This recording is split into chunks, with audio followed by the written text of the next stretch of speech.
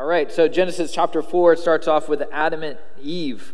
Now, Adam knew Eve, his wife. We know if you spend any time in the Old Testament, that is that means that he didn't just meet her right now, right? He knew her, as in had sexual relations with Eve, and um, it says she conceived and bore Cain, and said, "I have acquired a man from the Lord." So this is an interesting idea. Like everybody up to this point, Adam and Eve, were created right? God created them out of the dust. Adam was made out of the side. Eve was created. And here now we have the first birth. We have the first pregnancy. Now, like, you know, pregnancy on its own is kind of crazy, right? You, you, are just like, I remember my sister really did not want to be pregnant. She was like, I don't know, this whole thing, like, I think she saw that alien movie, you know, and just felt like, this thing growing in my stomach. I don't know how this is. Can you imagine just for a second, especially, you know, if, if you've been pregnant and you've had a baby, like, can you imagine being the first person ever to go through this? You have no, like, Adam is absolutely no help whatsoever. And here you are, like, having this pregnancy and going through this whole thing. It's amazing. It's an amazing miracle. And Eve recognizes that this man I have, requ- I have acquired a man from the Lord is a gift from God. And that, there's a sweet just truth that our children are gifts from the Lord. But specifically here, this is the first one, and this is a very rare usage of the word. He, she says, I have acquired a man from the Lord. Like most of the time through the rest of Scripture, babies are not referred to as men right? She, she recognizes, though, that she, here she is something new, something different. She has a man. She has, she has created, in a sense, right? She has received this, this new human. And she says, I have acquired a man from the Lord. Now, Adam and Eve are going to have many children, but the focus of this chapter is on the, their three, these three specific children that we're going to look at this evening or see in the next this and the next chapter. So here she has Cain. He grows up. It says, verse 2 Then she bore again, this time his brother Abel. And then it gives us a little description. Abel was a keeper of sheep, so he's a shepherd. Cain was a tiller of the ground. So if you're from Tustin, Tustin Tillers, right there, um, a farmer. So you've got the shepherd and the farmer, the, the father of these um, you know, agricultural lifestyles happening right here. Abel being the keeper of the sheep, Cain, tiller of the ground. He's that farmer, likes to get in the dirt and, you know, grow things. We'll see kind of how that plays later. Verse 3 And in the process of time, it came to pass that Cain brought an offering of the fruit of the ground to the Lord. Abel also brought of the firstborn of his flock and of their fat. And the Lord respected Abel and his offering, but he did not respect Cain and his offering. And Cain was very angry, and his countenance fell. So let's just talk about this. This is really interesting. This is the first occasion of worship. Remember, we talked about new beginnings or beginnings in Genesis, how it's full of beginnings. This is the first incident of worship. They're bringing what they have created in a sense, or made, or produced. So one brings the fruit of the ground because he is a farmer, and one brings the fruit of the field, or the flock rather, because he's a shepherd. Um, and and yet Abel, Cain, it says, brings his, it seems to be first, um, the fruit of the ground, but then Abel also brought the firstborn of his flock. It doesn't appear to be this this is the first time necessarily because it says in the process of time. So it, it, seems to be this may have been like a regular thing in the process of time, just as things were going. They had a relationship with God in this sense. And, and so even outside, you know, driven out of the Garden of Eden, they still are worshiping. So they come to worship, they come to give an offering. Is interesting, though, is that God didn't receive one of the offerings. Now, it's, it's interesting to me because, you, you know, I mean, honestly, you kind of have the feeling of like, whatever I give to the Lord, he's going to be good with, right? Like, you know, I, this is this is what I've got, and this is what I'm bringing, and God's going to be uh, should be thankful that I am even giving this, right? It's an interesting dynamic to to realize, like. Are there times that you and I have brought something, have offered something, have given something to the Lord, and and the Lord's like, eh, no thanks. right? Nah, that's not, that's not what I'm looking for. And so then the question is, what is he looking for? Why? Why does he accept one and reject another? And a lot of people have a lot of different opinions about this. Um, I'm not going to get too deep into opinions, but I am going to look at Scripture because that's the best place to go. So, what else does the Bible tell us about this occasion? What else can we learn um, about this incident? saying that the Lord respected Abel and his offering, but he did not respect or regard Cain and his offering. Somehow, the standard of God was not met by Cain, and God didn't receive it. There's something that God is looking for and something that God is willing to accept. And he doesn't just take everything. Now, many people have kind of guessed it's because one brought an animal and one brought a vegetable. Like God likes meat and you brought a veggie burger, and that's not going to cut it. Um, we don't have any, there's no record. That's just an inference, that's a guess. I don't think it's a biblical idea.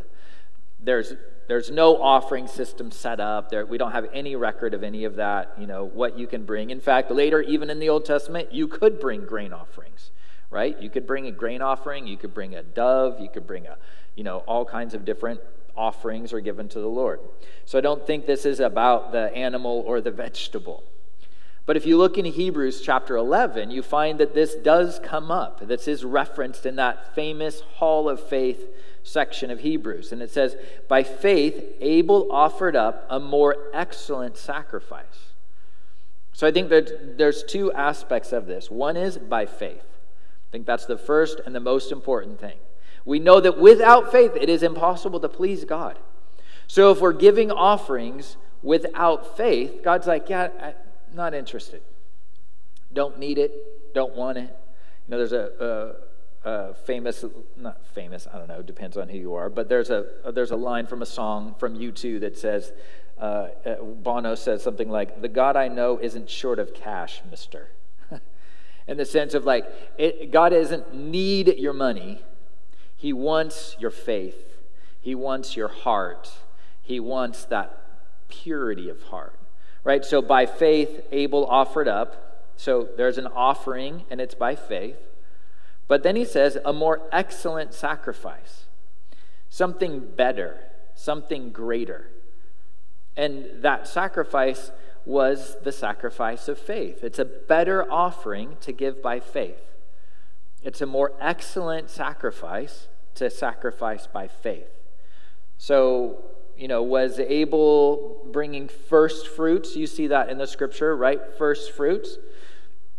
Or was Cain bringing, you know, the leftovers? It says that Abel brought the firstborn of his flock and the fat, and, and that's like a, a, a an excellent sacrifice. Maybe, you know, Abel's like, or maybe Cain was like, well, here's some, you know, here's some bruised melons or, you know, leftover whatever and bring. Maybe he's bringing leftover. We don't really know, but we know that one is the firstborn of the flock and the other is the fruit of the ground. And I would say the key later comes that God infers Cain and Abel know.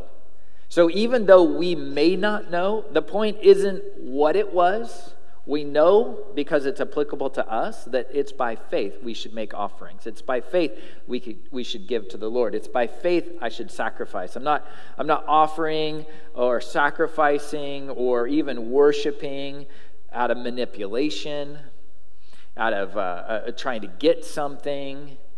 We don't really know what his motive was, but we know that it doesn't seem to be by faith.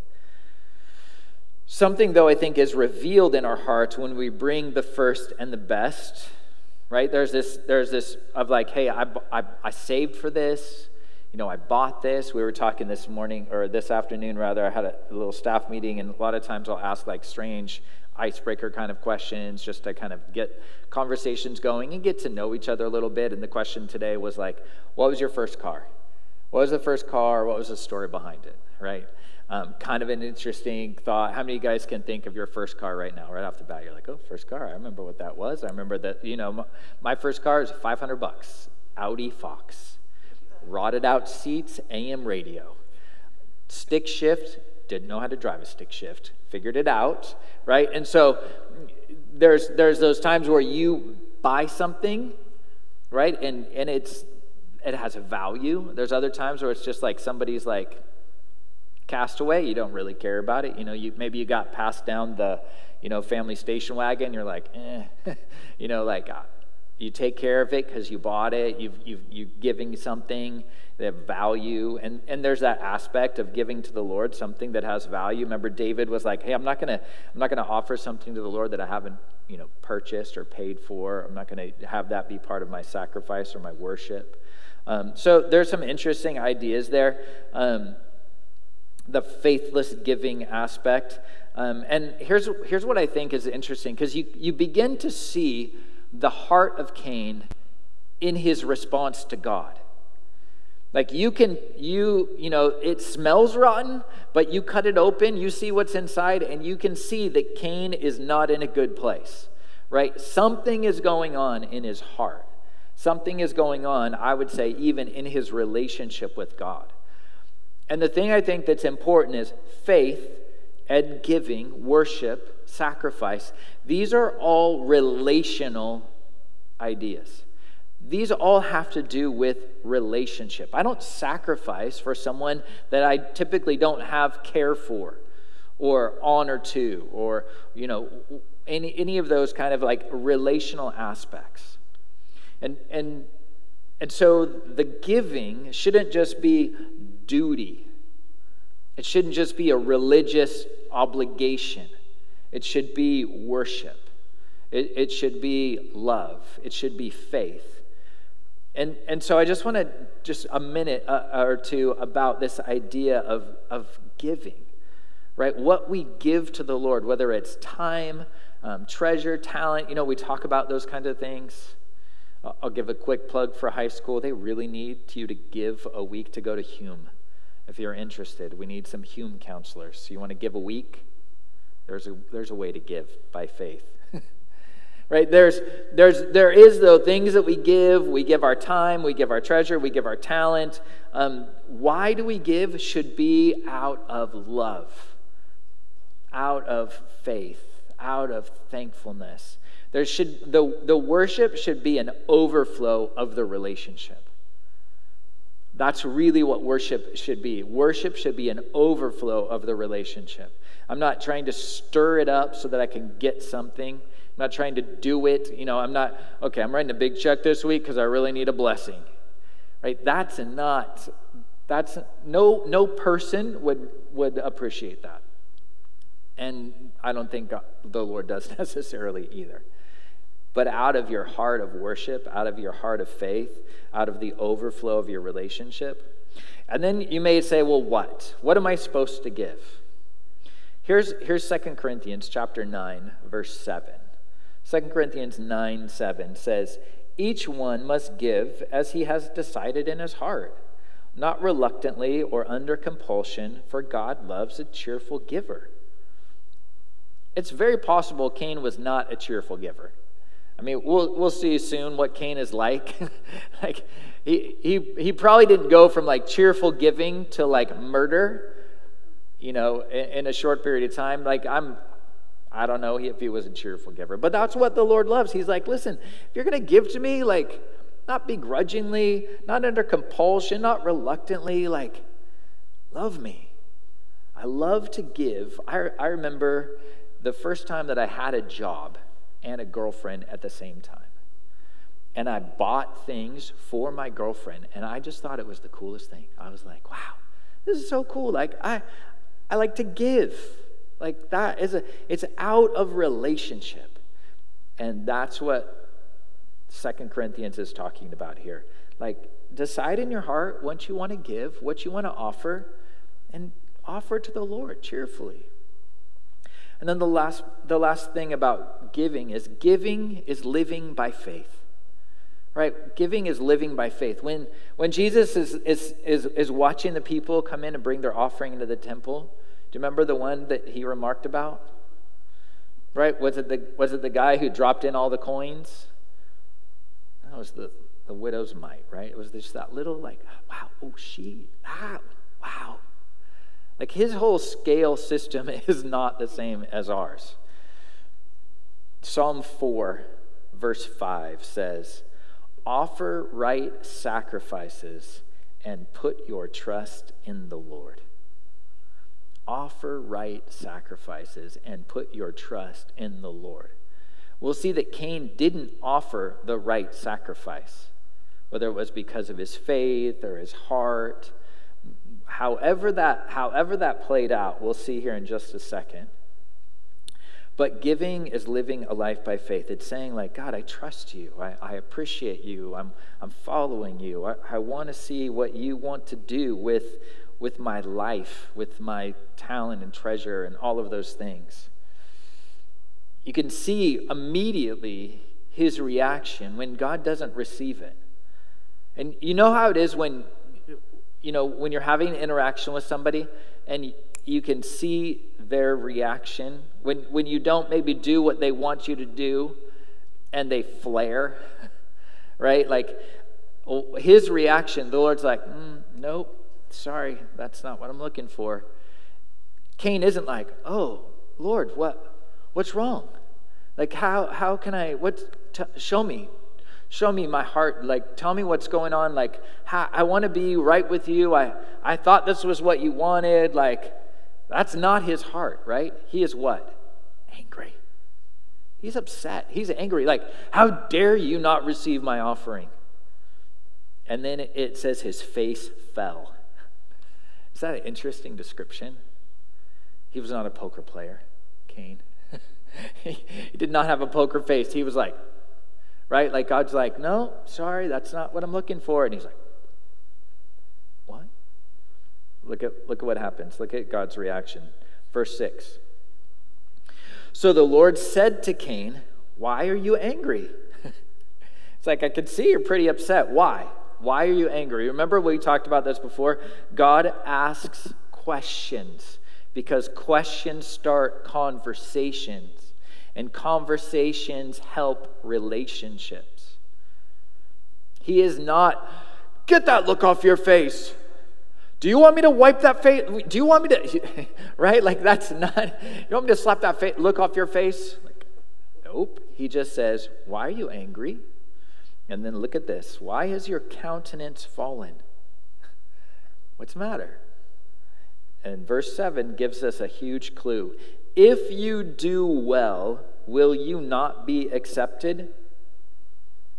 So there was some clarity. Like he didn't even have to bring it up. You know how when you you're having some conversation with somebody and you and everybody knows, like maybe you're outside the circle or you show up at the family and, and you don't you don't know the expectation, but everybody knows, like, oh, you're sitting in dad's seat. Uh oh, right? Like, if you do well, will you not be accepted? See, this wasn't the first time that they had brought an offering, it doesn't seem like. And God is like, listen, you, you know how this works. Like, you know what I'm looking for. Will you not be accepted if you do what's well? Yeah, you will.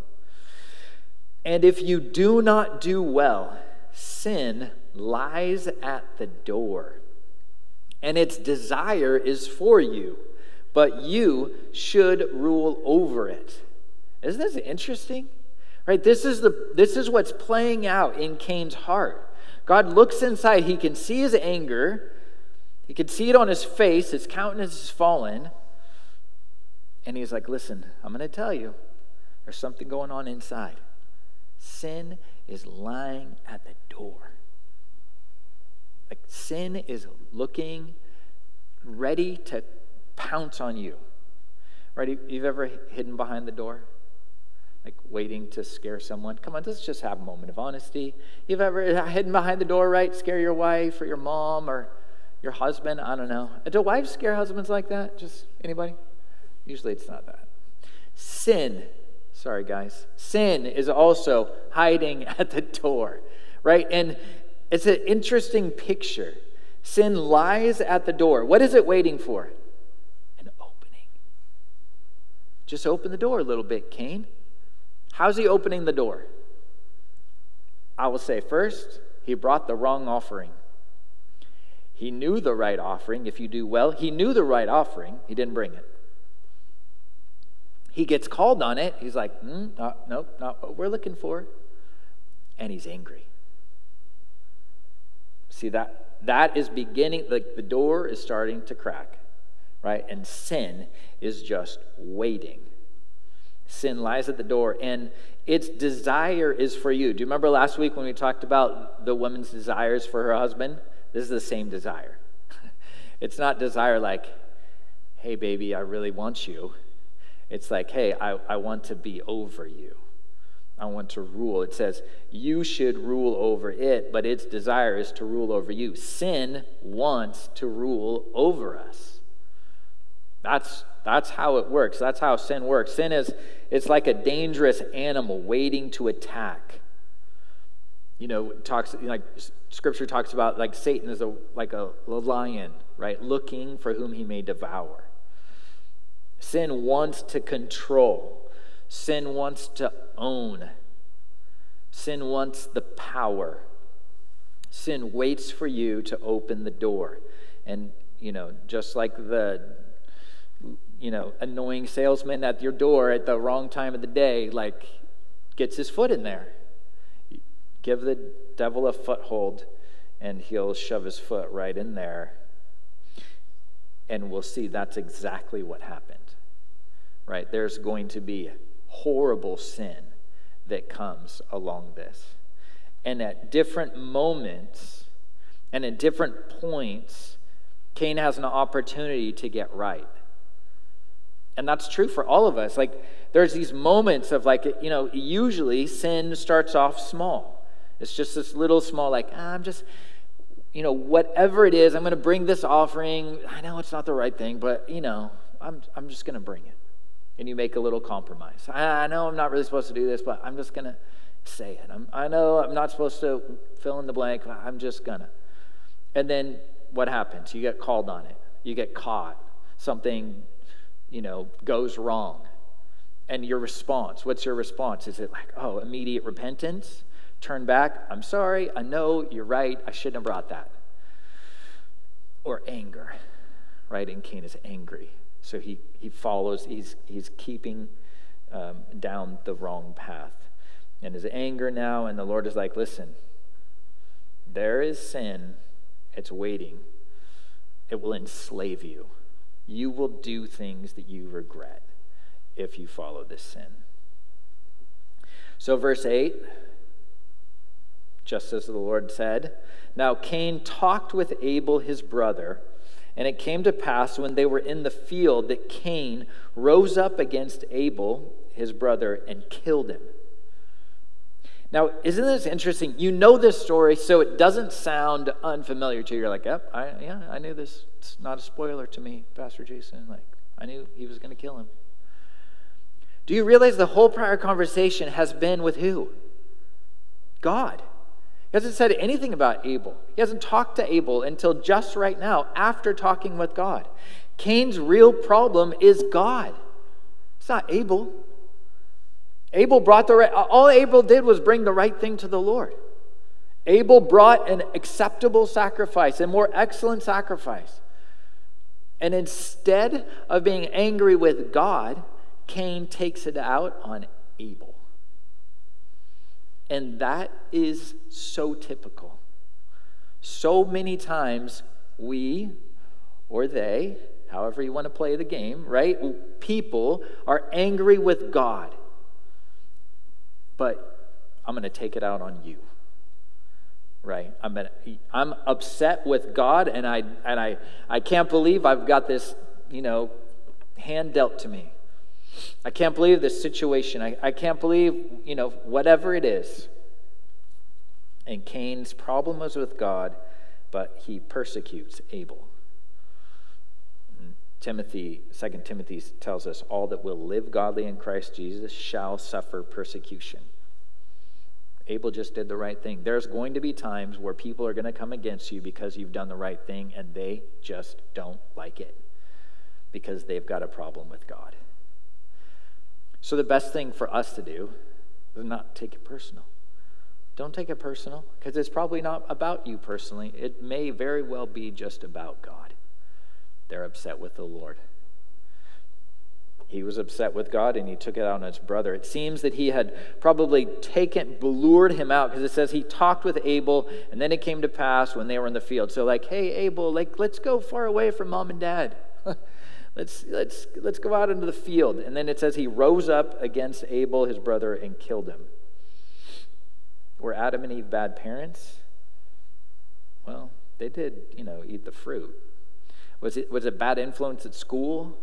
Was he listening to rap music? what was the problem? The problem was sin in his heart. That's always the problem. There are influences, there, you know, there are, you know, all kinds of influences that happen, but the bottom line is he had sin in his heart and he made the choice to kill his brother. God warned him that sin was in his heart and wanted to, uh, to overwhelm him, his, control him. And it did, unfortunately. Verse 9 goes on, and then it says, Then the Lord said to Cain, Where's Abel, your brother? Again, another question. Is God not sure? Is God like, hey, wait, uh, one, two, three, there's only three people down there. it's not a mystery, but he's drawing him in. Where's your, brother? where's your brother? If you've ever wondered that famous phrase, like, I'm not my brother's keeper, here it is. He said, I do not know. Am I my brother's keeper? Sarcasm, right? Right off the bat. Guilty, just smelling of guilt. Am I my brother's keeper? First, sass to the Lord, right here. Verse 10 And he said, What have you done? The voice of your brother's blood cries out to me from the ground. So, you know, maybe Cain picked up a, a rock and killed his brother with it, and there Abel lays in the ground in his blood. And the Lord is like, listen, your brother's blood cries out to me. God is a just God. And he knows what has happened, and he's still reaching out to Cain. He's still calling him talking to him. Verse 11, this is God's response. So now you are cursed from the earth because this blood into the ground, this ground that he would, would farm in. So now you are cursed from the earth, which has opened its mouth to receive your brother's blood from your hand. When you till the ground, it shall no longer yield its strength to you. A fugitive and a vagabond you shall be on the earth. So, interestingly enough, Cain is not put to death, right? Later in the Old Testament, through the law, like this would be murder. This would be someone put to death. And here, the Lord actually just says, you, You're going to no longer have a home, you're no longer going to have a place. You, you, you are going to go out and, and wander.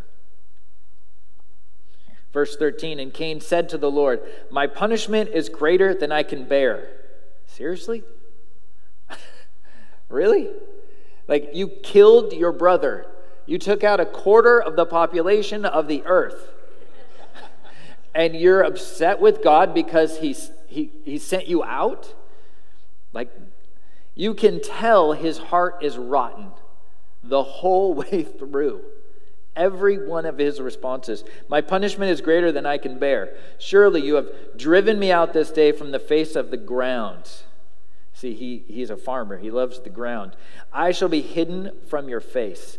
I shall be a fugitive and a vagabond on the earth. And it will happen that if anyone uh, who finds me will kill me. So obviously, we don't know how old he is at this time, and there's other brothers and sisters, there's other nephews and nieces. Right? The family is going. Adam and Eve lived for hundreds of years. So at whatever point this is, he's like, listen, somebody, somebody's going to kill me. he has nothing to say about what he did to Abel. he has nothing to say about his own sin. He only gripes to the Lord because he doesn't think it's fair and what's going to happen to me. Um, he's, his, his pity is for himself. And that's a sure sign of an unrepentant heart. A repentant heart is sorry has sorrow, cares about what happened, sees the, the result of their choices, and, and he has none of that. His eyes are still on himself, not even God's authority. He's not even honoring God in this moment. He's like, Am I my brother's keeper? What do I have to keep track of where Abel is? He doesn't agree with God, even. God gives him a, a merciful consequence, and yet he doesn't he opposes God's judgment. He doesn't agree with it. He says it's too much.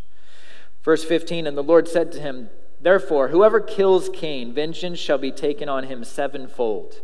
In other words, you know, I'm, I'm going to protect you. The Lord set a mark on Cain, lest anyone finding him should kill him. This is another, like, you know, topic that people love to guess on. What's the mark of Cain?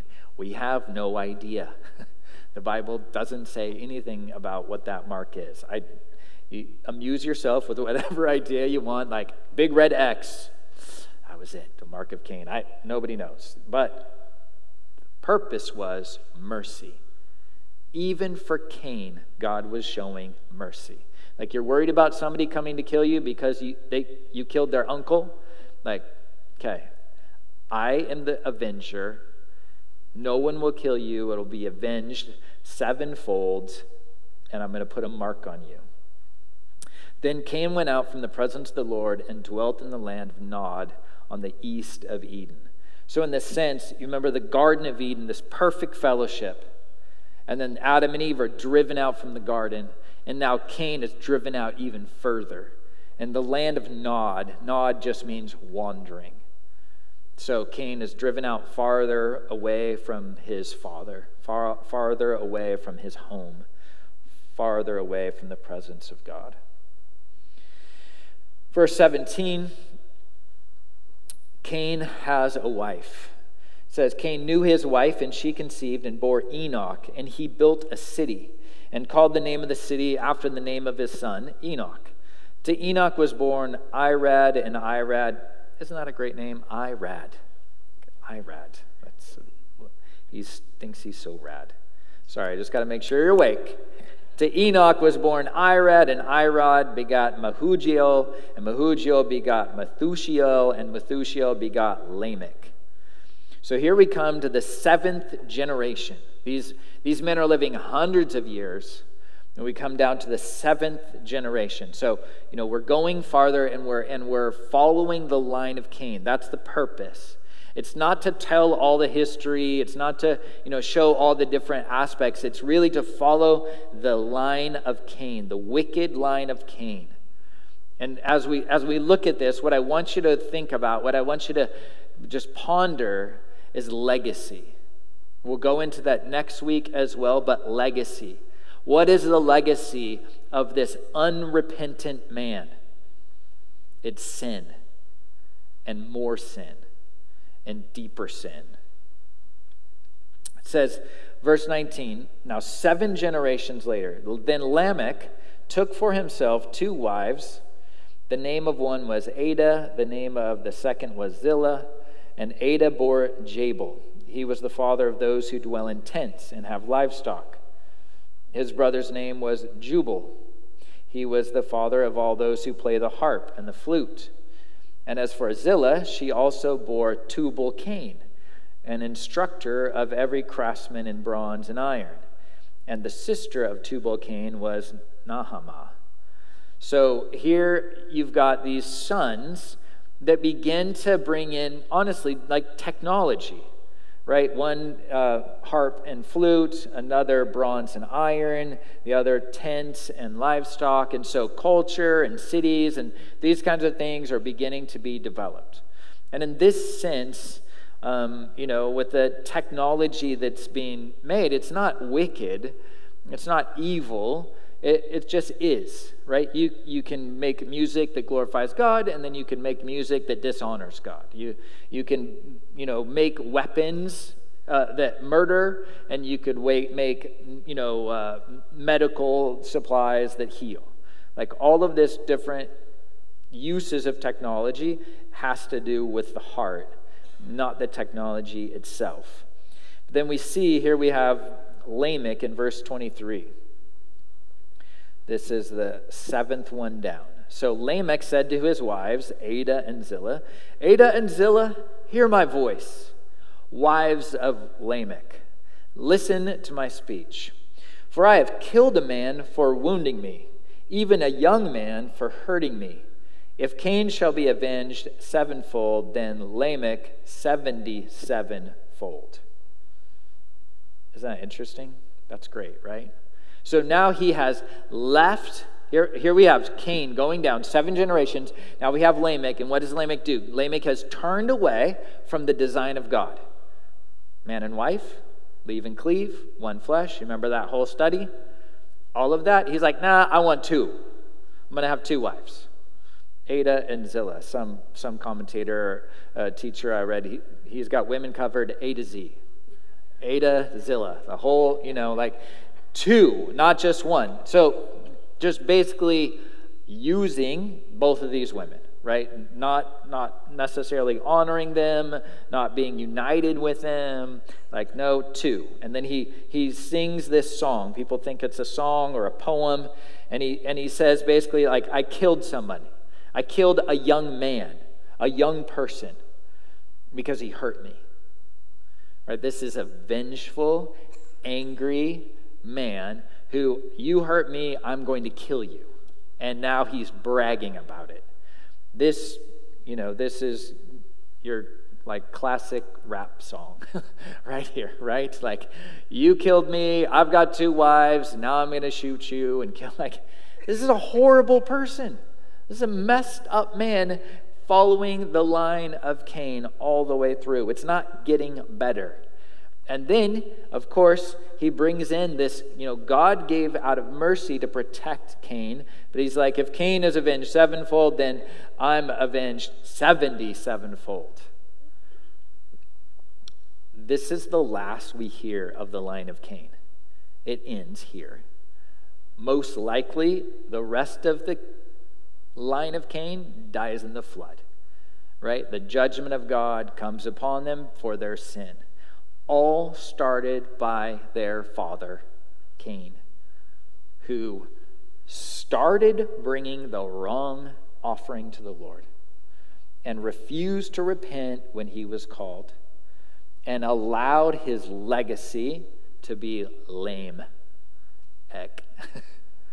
right? lame legacy of, of using people, of anger, of, of violence. And that, that's the end of Cain's line. But it's not the end of the chapter. Let's look one little bit of hope as we close. Verse 25 And Adam knew his wife again, and she bore a son and named him Seth. And this is what she says For God has appointed another seed for me instead of Abel, whom Cain killed. The mourning the loss, no doubt, of her son. Um, but interesting, the seed, right? Who this goes all the way to the promise of God about the seed. We talked about it on Sunday, the seed of Abraham, the seed that Eve would have, the, the, that Christ would crush the serpent, have his heel bruised. So God has appointed another seed for me instead of Abel, whom Cain killed. And as for Seth, to him also a son was born, and he named him Enosh. Then men began to call on the name of the Lord. Do you see the legacy, the opportunity in the, in the life that we lead? When did men begin to call on the Lord? This godly guy named Seth, who raised a godly son. And then men began, began to call on the name of the Lord. The choices that we make every day in our family matter. Right? The choices that we make every day at work matter. On Sunday, as we were talking about the just shall live by faith, the life of faith is what we're called to live every day. And the life of faith leaves a worthy legacy where people have the opportunity to call in the name of the Lord. Yeah, you know, maybe Cain had some like prosperous great, great, great grandchildren. But Seth had a line that will bring the Messiah. Seth has a line that will bring life. And that's what lasts. Amen. Father, we thank you for your word. God, what a powerful reminder of the life of faith that we're called to, the mercy that you show, and yet the, the death that sin brings. We pray that you would draw us close, that our hearts would be soft, that when you speak, we would listen, that when you call, we would come, that when we walk through the valley, that we would keep our eyes on you, that we continue to offer offerings out of our relationship with you, cheerfully giving our hearts and our minds and our lives in a way that gives you glory and brings a legacy of life. We ask this in Jesus' name. Amen.